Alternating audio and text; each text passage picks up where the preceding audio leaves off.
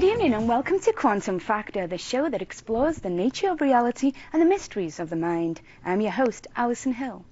Scientists have claimed that we use less than 10% of our brain's capacity and that a lot of human potential lies dormant because most of us don't know how to access the rest. Now, tonight's guest is here to share with us how we can utilize more of our brain power and change our lives forever. Dr. Joe Dispenza is a research scientist and practicing chiropractor who was featured prominently in the hit movie What the Bleep Do We Know? He has spoken to audiences worldwide about neurology, brain chemistry, consciousness, the mind-body connection, stress, and emotional addictions. Joe, welcome to the show and thanks for joining us Pleasure tonight. to be here, Alison. Well, you've spent about 20 years um, researching and exploring um, basically the inner mind, the inner workings of the brain and how it um, affects outer reality. Can you talk about your background and how you got started in that? Sure, sure. Um, I studied biochemistry at Rutgers University, and then I went on to get my degree in chiropractic in Atlanta, Georgia at Life University. Um, then during that time, I've done various brain imaging seminars, and I've done a lot of continuing education on, on uh, brain physiology. Uh, and I've been a student uh, at Ramtha School of Enlightenment for 17 years.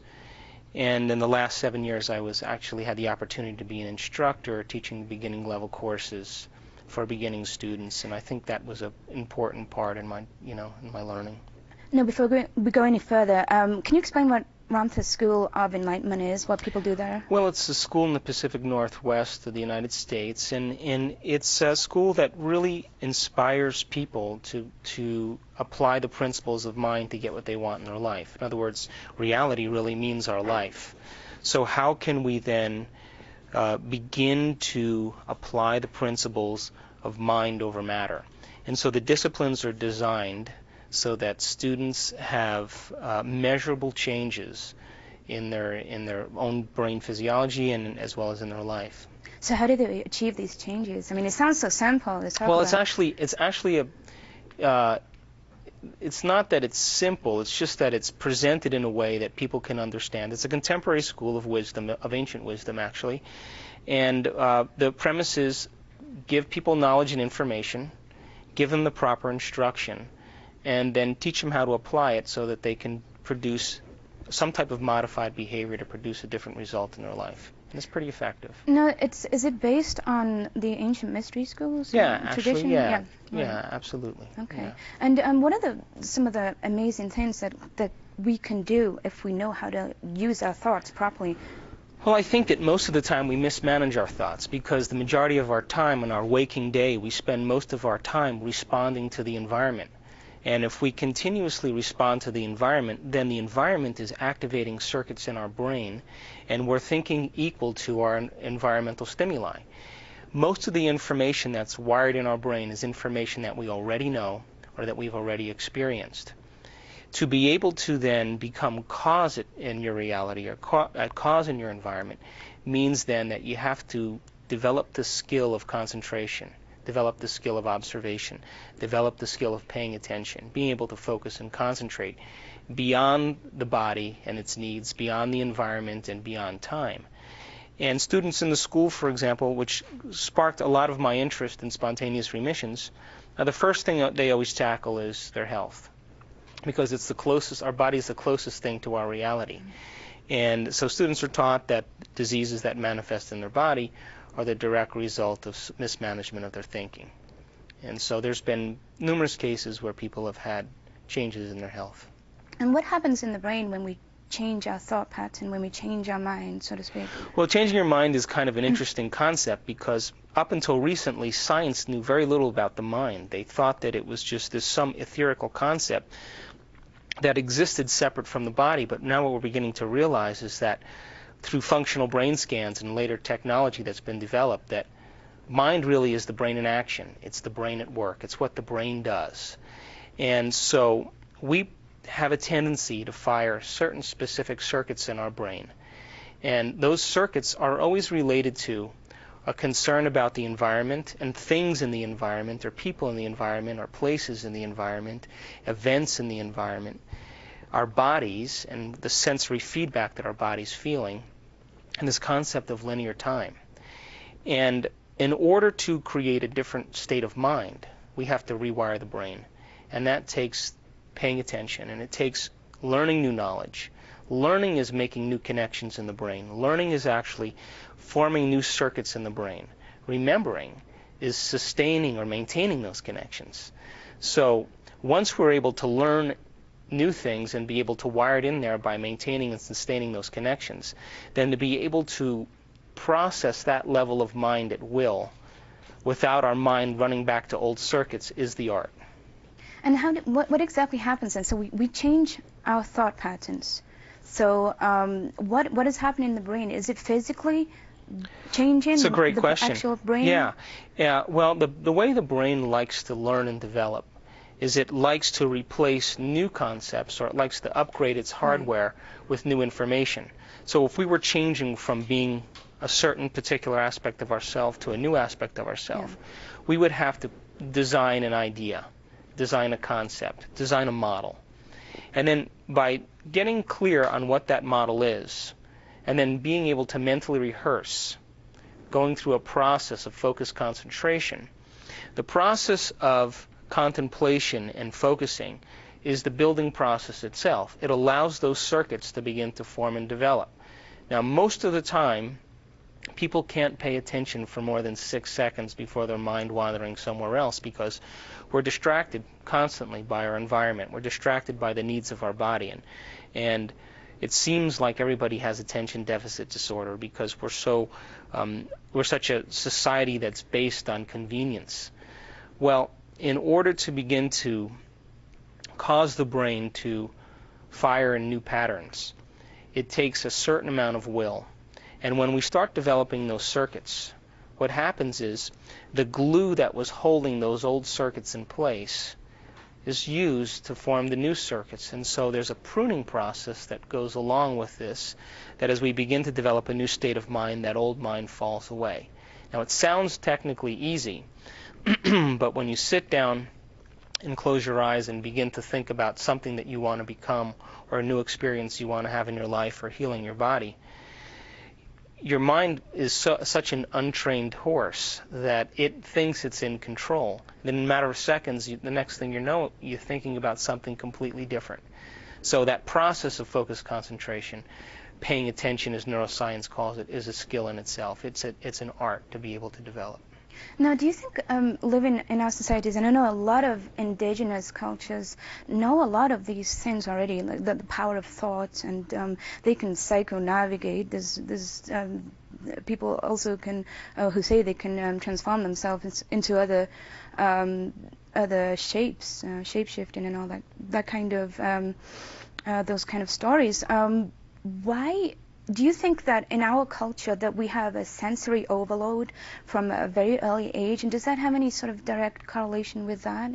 The, the fact that we are so um, involved in the material world as opposed to anything well, material, the material world and materialism, it has become kind of the focus of our culture. Right. This this concept of spirituality or this concept of consciousness or the immaterial aspect of ourselves most people don't have the time to engage in. And then we have to talk about religion, and religion and spirituality are different things. I think though if we if people keep their attention on their potential, I think it transcends really culture and race and gender and creed and it transcends religion. That every human being has the potential to be great. And every human being has the potential to be the hero in their own life. If we start there, and we start making measurable changes for ourselves, I think that everybody will become empowered to be greater. Now, down the road in human potential, is there potentials for all those things that you mentioned?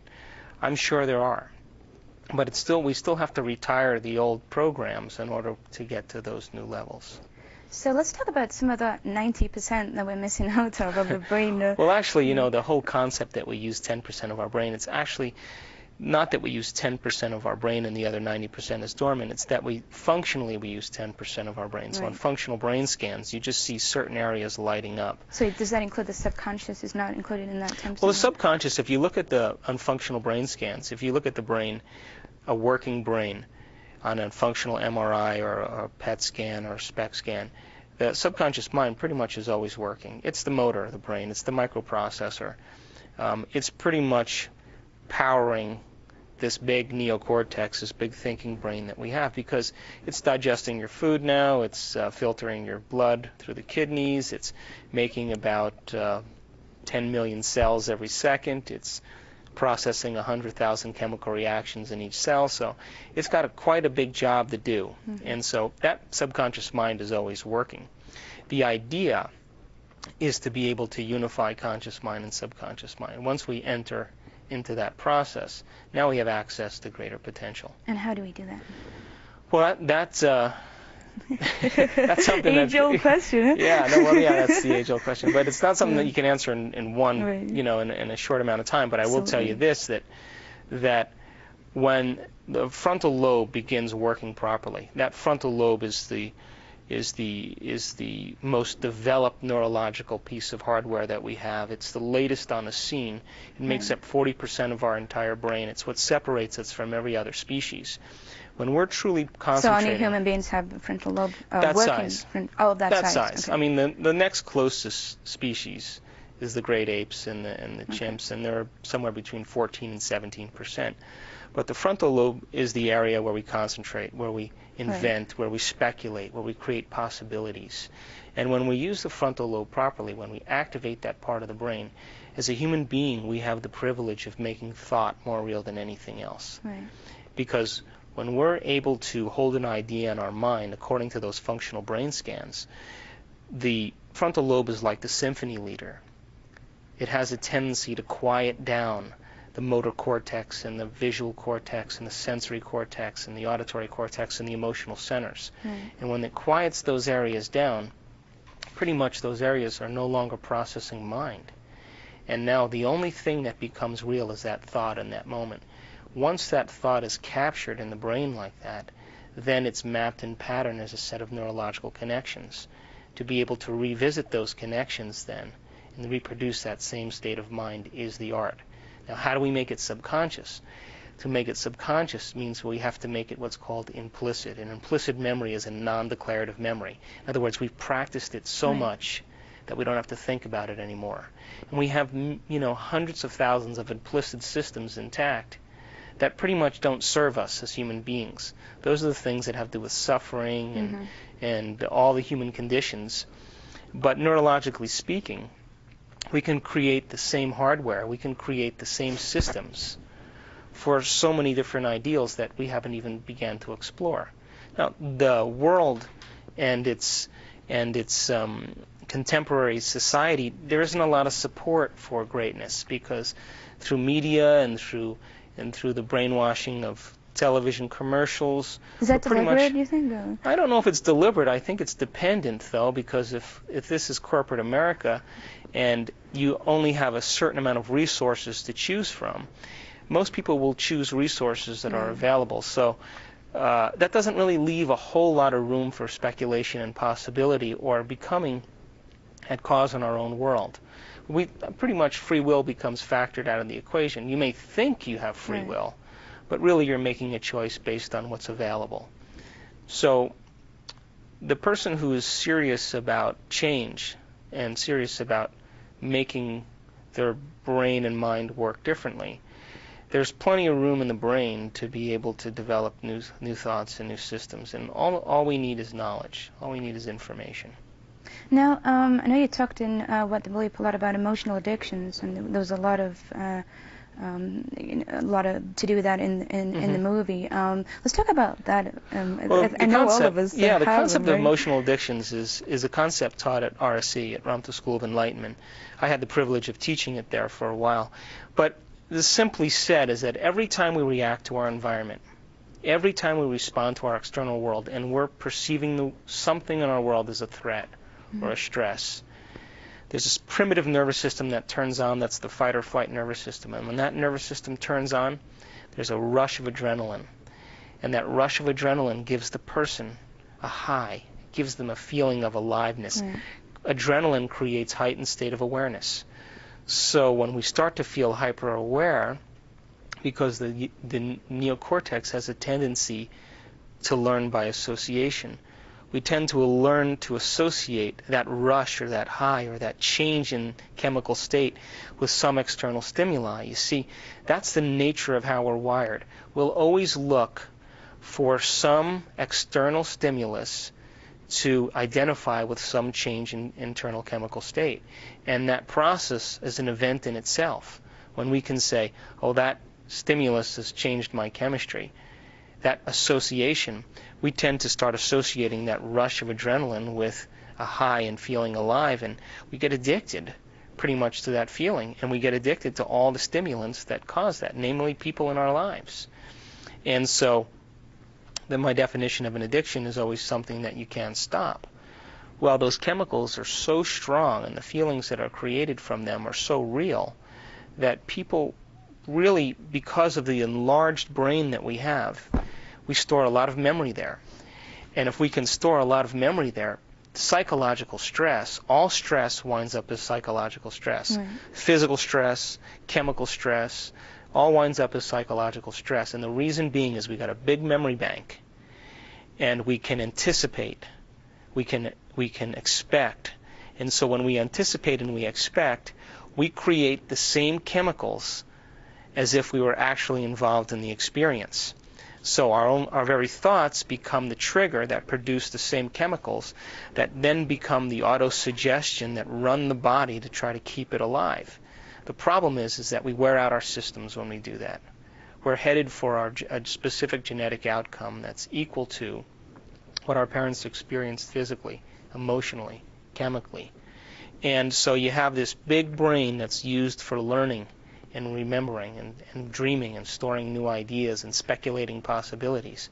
But when it's driven by a chemically based brain that's based in survival, then all of the awareness that could be used for new possibilities is now being endorsed or being driven by a primitive system that's causing the body to become super aware about the environment and super aware about sensations and time. Do you think most people live or exist in this state? Yeah. And how yeah. how can we get out of that? Yeah, well, that's the art. that's why the school, some kind of technique. the school, the school, you know, the disciplines in the school are all about that. But right. I mean, said simply, when you separate yourself from your environment, when you mm. separate yourself from your body, and you forget about time, those are the moments where you're quieting down those systems. And the frontal lobe is the is the area of our brain that allows us to do that. And and what neuroscience is beginning to understand is that the less of the activity that's in the frontal lobe, the higher propensity for emotional outbursts.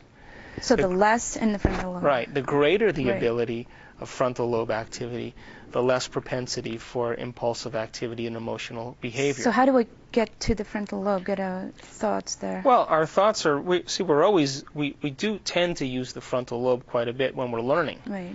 But there is this concept called rehearsal that, that I'm very, very interested in. And the concept of rehearsal is getting ourselves to be able to rehearse being or doing something as if we were actually doing it. And neuroscience shows that the brain can make those new circuits. Most people would say, uh, "I want to, I want to be healthy, or I want to be well, or I want a new relationship, or I want to change this attitude," but they don't have the will or the instruction, for that matter, to sit down and be able to go through a process. Because most people don't even know what meditation is. People say they meditate, but that's meditation is clearing the mind, but then what do you want to become? That's the question. And and so we're distracted.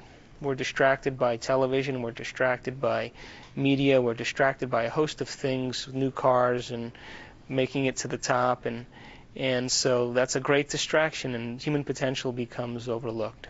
So it's an art then to get yourself into this uh, subconscious state that um, you can quiet down and, and forget about yourself in essence. Actually, right? actually, it's a great way to say it. When you forget about being yourself, right. is the moment that you're actually embracing a new idea. Right. And if we look at the the the idea of losing track of yourself, it means that you're losing track of all your associations to your external world, right. losing track of how you identify yourself as a personality or as an identity to some external stimuli. That that when we use the frontal lobe that way, the beauty is something very simple, and that is that we can change in one lifetime.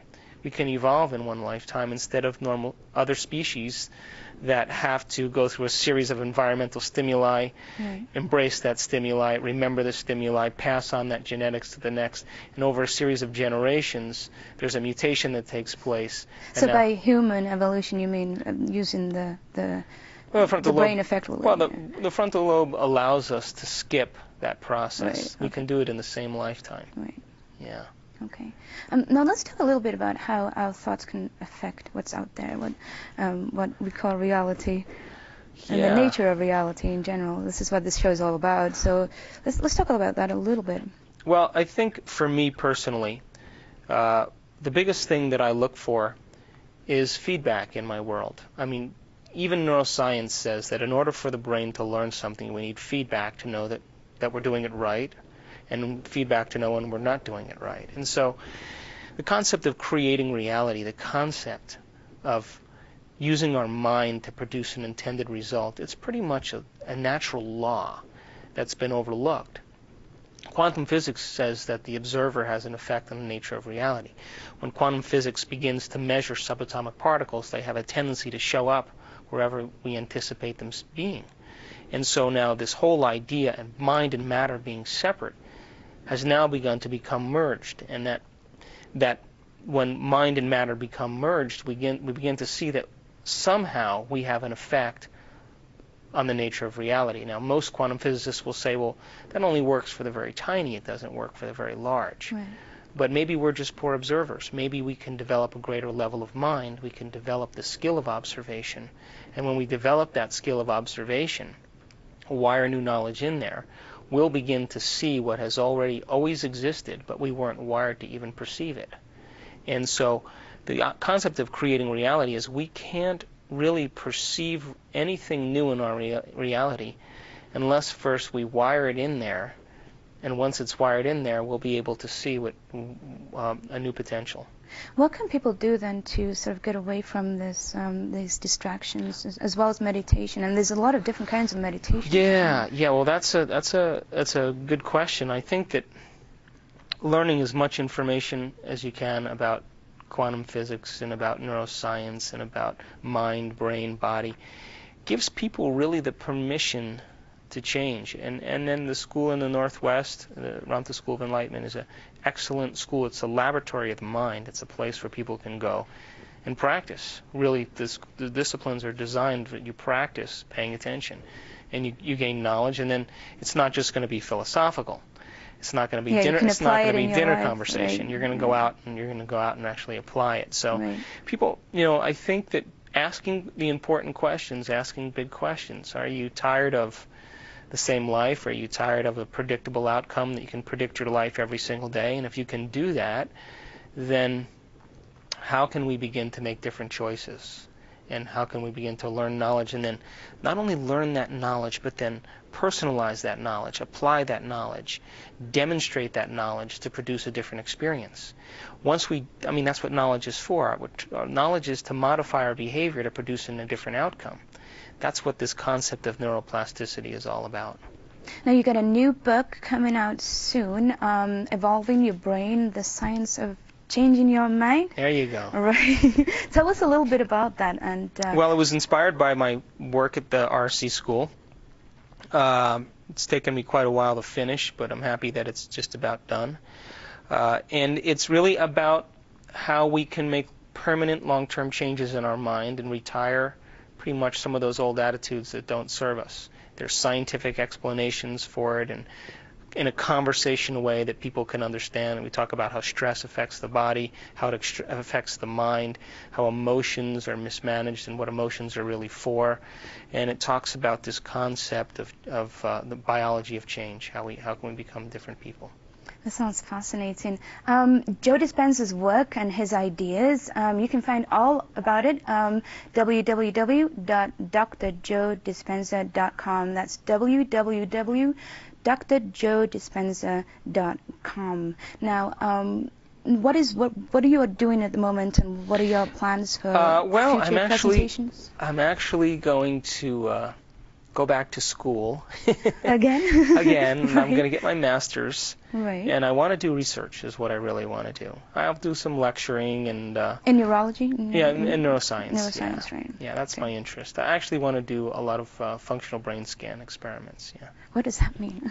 Well, studying mind. Okay. Studying right, mind, yeah. All right. And how? and, I mean, how do you do that in laboratory? You just study study people? It's a great question. So when you when they used to do experiments on the brain, they used to take snapshots, like with a CAT scan or an MRI, and that really tells if there's if there's pathologies in the brain, if there's any lesions. Functional scans measure the brain in action, and when you measure the brain in action, you can measure mind, and you can begin to see repeatable patterns with different psychological conditions or Mhm. different traits that are advantageous. And by studying those different patterns, we're able to gain and gather important information about what it takes to change. So what kind of volunteers are you looking for? Oh, all kinds, all right. kinds, yeah. so you go to all walks of life and just study Yeah. people's different reactions to Well, things? no, it would be like what happens during concentration, what happens during learning, what happens during anxiety, what happens during depression, what happens with attention deficit disorder, what happens with different types of attention deficit disorder, what happens with strokes and traumas, and what happens when people have strokes and traumas and then they're able to use a limb again and other people who can't. How, what is the process that allows that to take place? So interesting thing that hopefully hopefully advances our our uh, our understandings. Jill, that's about all we have time for tonight. Thank you so much for joining us. Uh, thanks to you at home for watching as well. Um, we hope you enjoyed this discussion. It's all food for thought. So good night and have a good one.